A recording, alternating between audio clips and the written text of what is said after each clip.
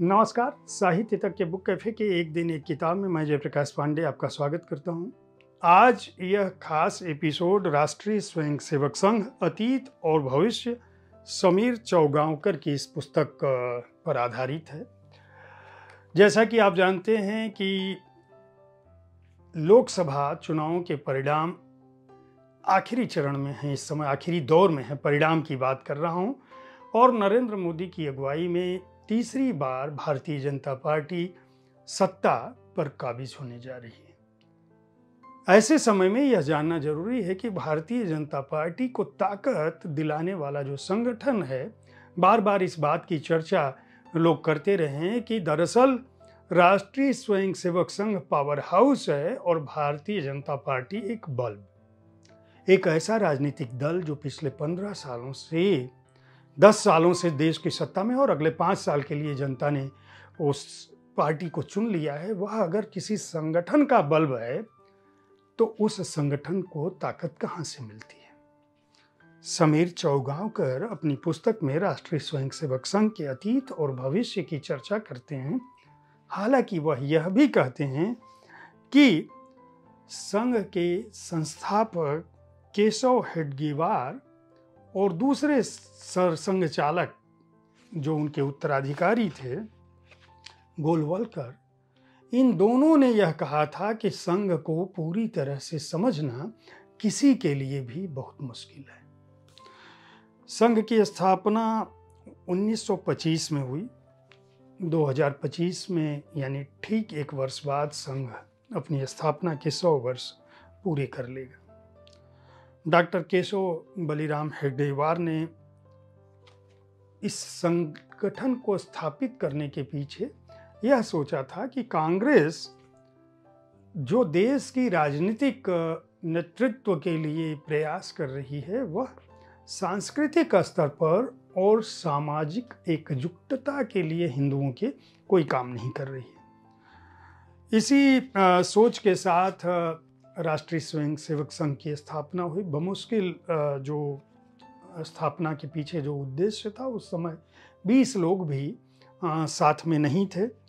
और हालाँकि इस पुस्तक में संघ के संस्थापक किस तरह से उसकी स्थापना हुई नागपुर में किस तरह से केशव का बचपन बीता और राष्ट्र प्रेम किस तरह से उनके अंदर था, कैसे वो कांग्रेस से जुड़े और फिर कांग्रेस में उनको जब यह समझ में आया कि आखिर इस संगठन में राजनीतिक रूप से क्रांति करके देश को तो आज़ाद कराया जा सकता है, लेकिन हिंदुओं का एकीकरण नहीं हो सकता तो किस तरह से उन्होंने राष्ट्रीय स्वयंसेवक संघ की स्थापना की, उनका बचपन कैसा था, कैसे वो कलकत्ता में गए, कलकत्ता में उन्होंने पढ़ाई के दौरान क्रांतिकारियों से उनकी मुलाकात हुई अविवाहित रहकर उन्होंने राष्ट्र सेवा का संकल्प लिया, लेकिन उसी दौरान उनका क्रांतिकारी गतिविधियों से मोह भंग हो गया और कांग्रेस में वो सक्रिय हुए, लेकिन खिलाफत आंदोलन के चलते वह एक तरह से विमुख हुए। कांग्रेस से अलग होने की जो वजह थी, वह खिलाफत आंदोलन की असफलता और कांग्रेस से उनका मोहभंग था। इस पुस्तक में समीर चौंगावकर खिलाफत आंदोलन का जो मसला है, उसकी भी बात करते हैं और वो एक तरह से सूक्ष्मता से यह बताने की कोशिश करते हैं कि वो कौन सी परिस्थितियाँ थी जिसने राष्ट्रीय स्वयंसेवक संघ को जन्म देने के लिए केशव हेडगेवार को बाध्य किया। यहाँ वो हिंदुओं का जो नरसंहार है, उसकी बात करते हैं। खिलाफत आंदोलन के तुरंत बाद और फिर राष्ट्रीय स्वयंसेवक संघ की स्थापना के पीछे वो कहते हैं कि दरअसल शुरुआत में यह हुआ कि इससे पहले हिंदू महासभा की स्थापना हो चुकी थी। और 11 अप्रैल 1925 को हिंदू महासभा में तब के अध्यक्ष लाला लाजपत राय ने ये कहा था कि हिंदू सभाओं को देश भर में संगठित करना चाहिए। सांप्रदायिक दंगों में जो हिंदू परिवार प्रभावित हैं, उनको राहत पहुंचाना चाहिए। ज़बरदस्ती जिन हिंदुओं का इस्लाम में धर्मांतरण किया गया है, उन्हें वापस बुलाना चाहिए। व्यायामशालाएँ तैयार करनी चाहिए। समाज सेवा के लिए समितियाँ बननी चाहिए। हिंदी भाषा का प्रचार करना चाहिए। हिंदू त्योहारों को और हिंदू समाज के बीच बंधुत्व की भावना रखनी चाहिए और जो राजनीतिक विवाद हैं हिंदू संप्रदाय के पक्ष को वहाँ पे प्रस्तुत करना चाहिए और मुसलमानों, ईसाइयों के प्रति सद्भावना भी प्रदर्शित करनी चाहिए। यानी ये 11 अप्रैल 1925 को जो कलकत्ता में हिंदू महासभा के अध्यक्ष लाला लाजपत राय ने लिखा था सोचा था और हेडगे बार के साथ उन्होंने हिंदू संगठन, हिंदू राज्य मुसलमानों की शुद्धि और अफ़गानिस्तान और सीमा प्रांत की विजय तथा शुद्धि इन उद्देश्यों को लेकर वह चले थे। लेकिन इसके बाद जब खिलाफत आंदोलन हुआ तो हेडगेवार को गहरा सदमा लगा और उन्होंने यह समझ लिया कि ये दरअसल जो लाला लाजपत राय की जो सोच है, इस सोच से काम नहीं चल सकता। क्यों? क्योंकि कुल के बावजूद जो कांग्रेस की नीति है, वह मुसलमानों को एक साथ रखने के लिए उनके प्रति सदा सहायता की है, उनको एक साथ जोड़ने की। है और यहीं पर उनका उन्होंने जो निष्कर्ष निकाला, कम से कम इस पुस्तक का कहना है कि उनका मानना था कि इस्लामी विचारधारा के कारण कारण जो भारतीय मुस्लिम मानस है, वह राष्ट्र की बजाय विश्व इस्लामवाद के प्रति ज़्यादा निष्ठावान है। चूँकि वह निष्ठावान है, इसलिए वह मुस्लिम प्रश्नों के बारे में ज़्यादा चिंतित है और उनकी समस्याओं के प्रति चिंतित है। उन्होंने ये सोचा कि भारतीय स्वतंत्रता के लिए जो संघर्ष और बलिदान का दायित्व है और मुस्लिम सहयोग समाज के सहयोग के बिना केवल हिंदू समाज को उठाना चाहिए।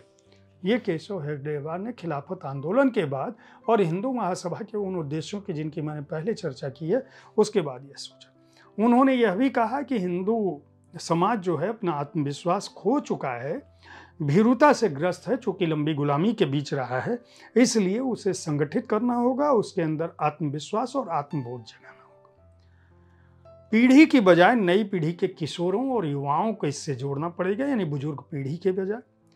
अंग्रेज़ों की सत्ता का विरोध करना देशभक्ति नहीं है, बल्कि मूल राष्ट्र की भावना जो है, उस पर होना चाहिए। अनुशासन, राष्ट्रभक्ति, यह एक बिंदु था।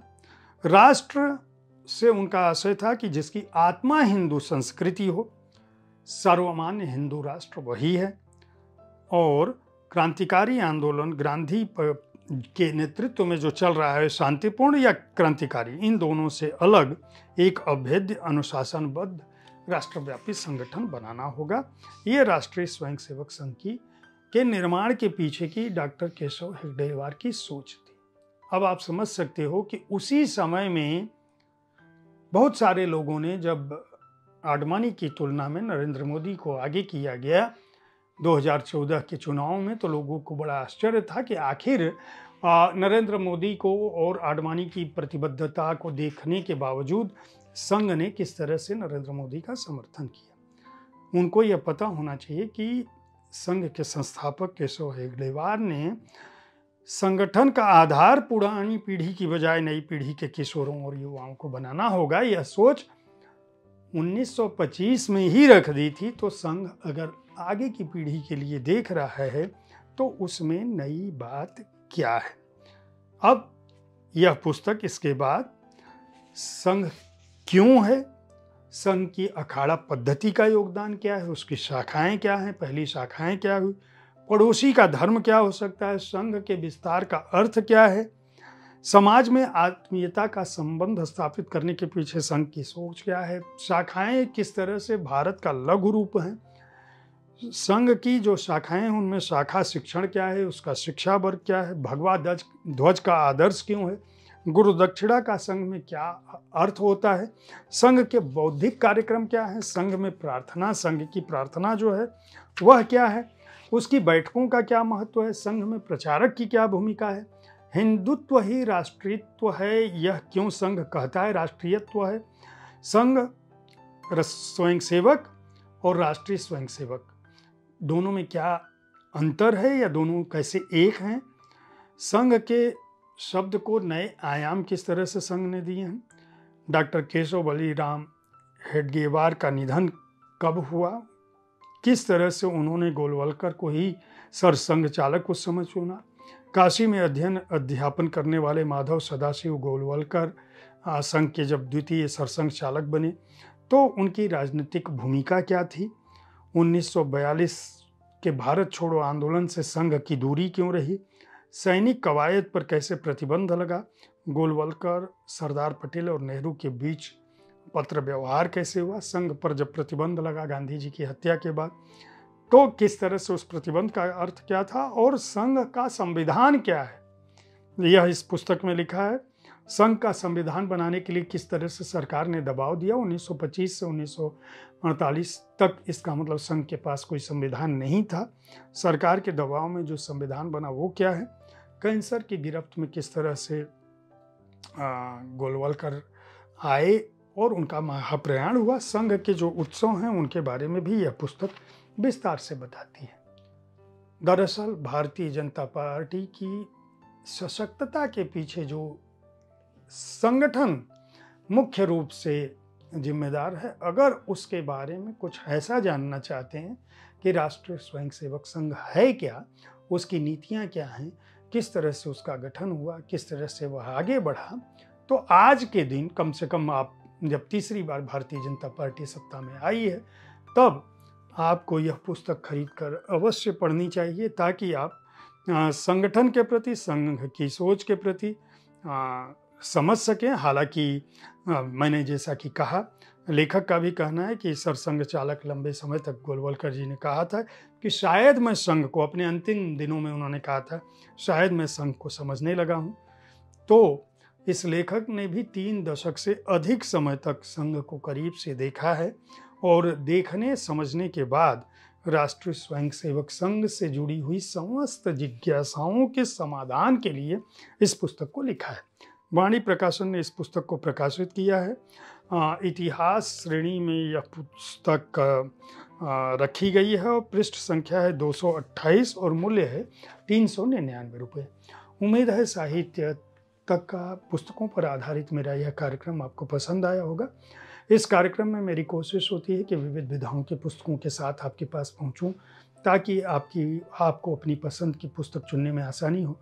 कल ठीक इसी समय, ऐसे ही किसी एक कृति के साथ फिर मिलूँगा। देखते रहिए साहित्य तक। धन्यवाद।